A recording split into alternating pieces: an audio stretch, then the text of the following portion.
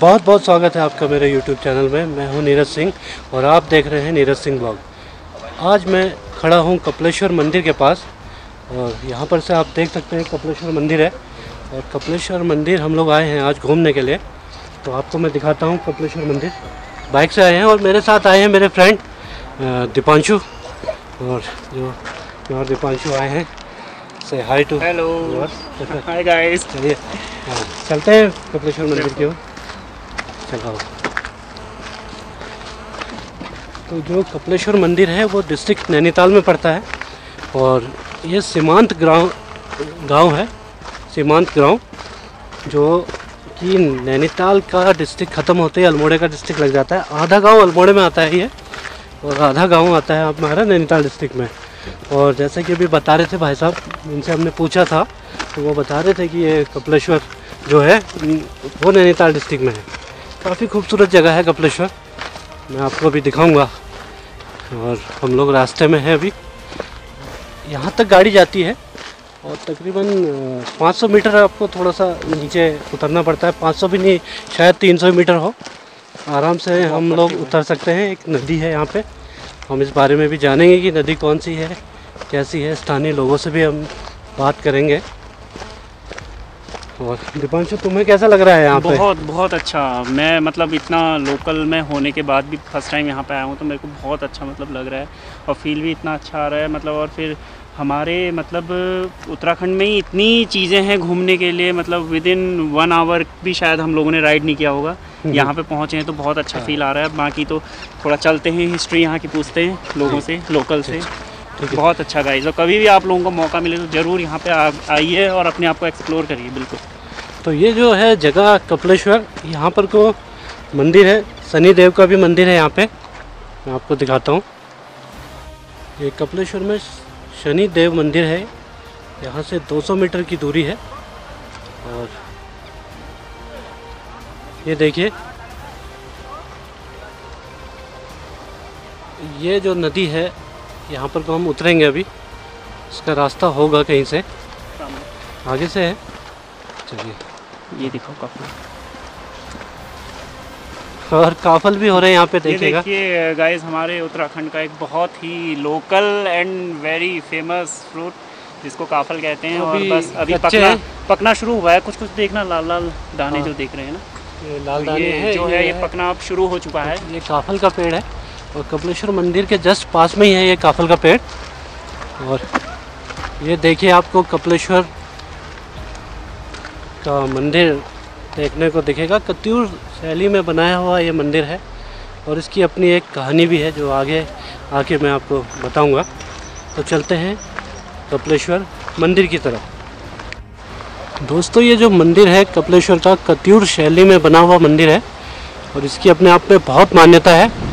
और थोड़ी सी आवाज़ डिस्ट्रैक्ट हो रही होगी, बहुत तेज़ हवा है तो हवा की भी आवाज़ आएगी, उसके लिए मैं आपसे सॉरी बोलता हूँ। और देखिएगा, मंदिर थोड़ा सा टिल्ट है, देखिए, से। ये। क्यों ऐसा है, क्यों झुका हुआ है मंदिर, इसकी कहानी आगे मैं बताऊँगा आपको। यहाँ पर नदी है, और नदी का जो जल स्तर है, अभी कम है। बरसात में ये बहुत ज़्यादा नदी हो जाती है, हम पानी को क्रॉस करके आगे नहीं जा सकते। उसके लिए आगे जाने के लिए एक पुल है। तो सामने आपको दिख रहा है वो पुल है। पुल में चढ़कर हम लोग मंदिर तक जाते हैं। लेकिन अभी जो है पानी का जल स्तर कम है। जल स्तर कम होने के कारण हम यहीं से चले जाएँगे। आपको ये रास्ता दिख रहा होगा, पत्थर का बना हुआ है। पत्थर से चल के हम लोग वहाँ नदी तक, नदी को क्रॉस करके आगे मंदिर तक जाएँगे। और इसमें एक ख़ास बात ये दिख रही है, हो सकता हवा से हो हो सकता है ये नेचुरल हो। ये जो बीच का डिवाइडर है पत्थर पानी इधर बह रहा है मेरी लेफ़्ट की तरफ़ और राइट की तरफ़ भी पानी बह रहा है राइट को भी पानी जा रहा है और लेफ़्ट में भी पानी जा रहा है। तो ये एक विचित्र सा मेरे को फील हो रहा है। मिरेकल सा लग रहा है कुछ। हाँ कुछ मेरे कल सा है तो मैं आपको बता दूँ इस बारे में। ये क्यों हो रहा है समझ में नहीं आ रहा लेकिन पानी इधर भी बह रहा है और उधर भी बह रहा है और नदी एक है। पानी इधर भी जा रहा है और अपोजिट डायरेक्शन में भी बह रहा है। देखिए ये पानी उधर को, उसकी जो वाटर फ्लो है, ऊपर की ओर है। और यहीं पर को वाटर फ्लो जो है फ्लो नीचे की ओर भी है। तो ये एक विचित्र बात है। बहुत अच्छा लोकेशन है, देखिएगा। आप फैमिली के साथ भी आप यहाँ आ सकते हैं। बहुत ही खूबसूरत जगह है कपलेश्वर डिस्ट्रिक्ट नैनीताल के अंदर। और अगर आप ऊपर पुल में चले जाते हैं तो वो आप डिस्ट्रिक्ट अल्मोड़ा में चले जाते हैं। तो ये सीमांत गाँव है। और कपलेश्वर का मंदिर आप देख सकते हैं। इसकी अपने आप में बहुत ज़्यादा मान्यता है। तो अभी चलेंगे।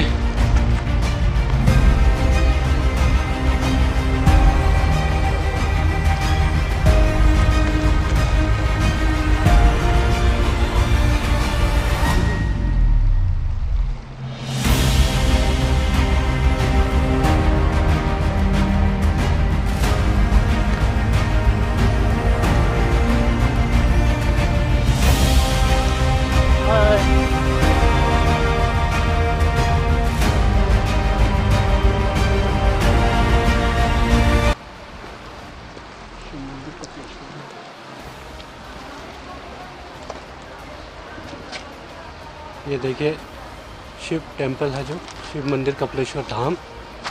ये है, इसका यहाँ पर को हम लोग शूज़ ऑफ़ कर लेंगे। उसके बाद अंदर जाएँगे मंदिर के और आपको दर्शन कराता हूँ आज कपलेश्वर धाम के। जो शिव भक्त हैं, उनके लिए ये वीडियो खास हो जाएगी। ये देखिए, इस तरीके का ये टेंपल है। ये देखिए।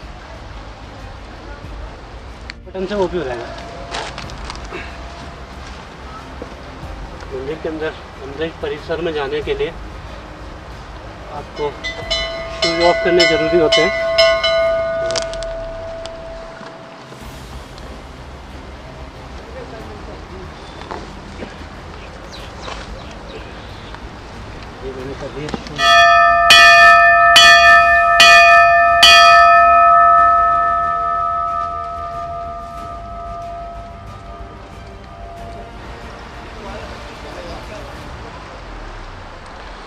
अंदर फ़ोटो लेना मना है। गर्भगृह में शिवलिंग की फ़ोटो खींचना सख्त मना है। तो इसलिए अंदर की हम आपको नहीं दिखा पाएँगे। लेकिन इसका जो मंदिर की कुछ ख़ास चीज़ हम आपको दिखाएँगे, क्योंकि ये जो पत्थर मेरे को लग रहा है, रेड कलर का पत्थर है। जो स्थानीय पत्थर होगा, जो ये नदी से निकलता होगा, उसी से ये कभी बनाया गया होगा। और इस पर बहुत ही कलाकृति सुंदर आप देख सकते हैं, और हाइट भी इसकी काफ़ी अच्छी है। और ये टिल्ट है। ये आप जानते हैं कि मैं कम, कपिलेश्वर मंदिर में खड़ा हूँ अभी। मेरे पीछे आप देख सकते हैं कपलेश्वर मंदिर है और बहुत ही पुराना पौराणिक काल का ये मंदिर है और ये हमारे इंडिया की एक धरोहर है जिसको मैं आप तक पहुँचाने की कोशिश कर रहा हूँ। और इसके बारे में जानते हैं हमारे पंडित जी हैं और पंडित जी से मैं आपकी बात कराता हूँ। तो मिलते हैं पंडित जी से। नमस्कार पंडित जी। नमस्कार।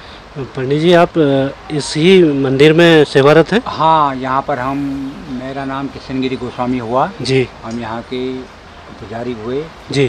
परसों से ही हमारे दादा परदादा जो भी हैं यहाँ पर पूजा पाठ करते आ रहे हैं। जी जी। और हम सुबह शाम यहाँ पर दिया धूप आरती करते हैं। जी। पंडित जी आप ये जो मंदिर है कपिलेश्वर धाम इसकी हिस्ट्री क्या है और कैसे ये बना ये बना बता सकते हैं आप? हाँ ये नौ लाख कचूरी राजाओं ने एक रात बनाया मंदिर। जी। और यहाँ पर नौ लाख कचूरी राजाओं ने एक रात बनाया और अंदर जो है वो स्वयंभू हैं। भोलेनाथ स्वयंभू हो नेचुरल हो वहीं पर प्रकट हुए ठहरे हो। उनको कहीं से स्थापित नहीं किया गया। जी। और इसके अंदर से दो कमरे और हैं वो तो खाली पड़े हैं ऊपर। जी। और नीचे भोलेनाथ का भोलेनाथ खुद विराजमान है शिवलिंग के रूप में। जी। और ये कपिल मुनि जी ने यहाँ पर तपस्या की। तब यहाँ का नाम कपिलेश्वर पड़ा। ये मंदिर जो है एक साइड को झुका हुआ है तो ऐसा क्यों है और इसका कारण क्या है बताएँगे हमें? इसमें कारण ये है एक कहानी बताते हैं। जी हाँ। एक मोना गाँव में एक मंदिर शिव जी का मंदिर वहाँ भी था। जी। एक यहाँ हो गया जी। दो नागों की आपस में शर्तें लग गई। उसने कहा तू तोड़ता है या मंदिर मैं तोड़ता हूँ अच्छा। या तेरे में शक्ति है या मेरे में शक्ति है हम्म, हम्म, हम्म, उन्होंने कहा ऐसा करते हैं मंदिर तोड़ते हैं। अच्छा। यहाँ के नाग देवता गई वहाँ। जी। तोड़ दिया मंदिर। हम्म, जैसे ही उन्होंने इसको फंदा डाल के हल्का टेढ़ा कर रखा था हाँ हाँ तो हाँ हमारे वहाँ के नाग देवता आ गए उसने कहा पहले मैं तोड़ के आ गया अब इसको इसको अच्छा अब तुम छोड़ो। तब उनके ये ज़ोर लगाने से उसके फन उनके फंदे डालने से तब इसको टेढ़ा बताते हैं। अच्छा। हाँ। कि ये बहुत पुराना मंदिर है पंडित जी। हाँ। तो ऐसे मंदिर और कहाँ कहाँ हैं इंडिया में? ये एक तो केदारनाथ हो गया जी हाँ। दूसरा ये जागेश्वर हो गया बागेश्वर हो गया कपालेश्वर हो गया तुंगनाथ हो गया। ये अच्छा। पाँच मंदिर ऐसे हैं जो पौराणिक मतलब बहुत ही मतलब प्राचीन काल के बारह सौ तेरह साल पुराने। अच्छा। हाँ मंदिर। की क्या क्या मान्यता है? मान्यता यही है मतलब एक रात में बना हुआ मंदिर। जी। हाँ और यहाँ पर वही कपिल मुनि जी ने यहाँ पर तपस्या की। जी। तो कपिलेश्वर और सामने यहाँ पर दो नदी के बीच में मुक्ति धाम भी है शमशान हम्म। घाट भी है। जी। तो भोलेनाथ खुद शमशानवासी हुए। जी जी। जहाँ पर भोलेनाथ का मंदिर हुआ वहाँ पर शमशान घाट होती है। अच्छा। तो और यहाँ पर भोग भी लगता है सुबह सुबह को। जी। दाल चावल का भोग लगता है भोलेनाथ को। अच्छा अच्छा। हाँ सुबह आठ साढ़े आठ नौ बजे करीब आसपास भोग लग जाता है। ठीक ठीक। हाँ। जी। ये तो थे पंडित जी किशनगिरी जी हाँ। हमारे साथ। और उन्होंने अच्छी तरीके से हमें बताया कि ये इसका इतिहास क्या है और कैसे यहाँ पर को संस्कार हुआ करते हैं ये सब चीज़ें उन्होंने बताई है और उनका हम तहे दिल से धन्यवाद देते हैं पंडित जी का पंडित जी को नमस्कार बोलते हैं। मैं और जी हाँ मैं और दीपांशु अभी मंदिर के दर्शन करने के लिए आ गए हैं तो पहले दीपांशु तिलक करेंगे मंदिर में फिर वो मैं करूँगा अच्छा, अच्छा।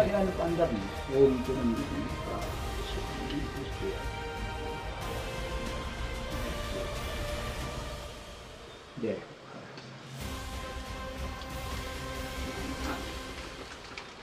अंदर नहीं,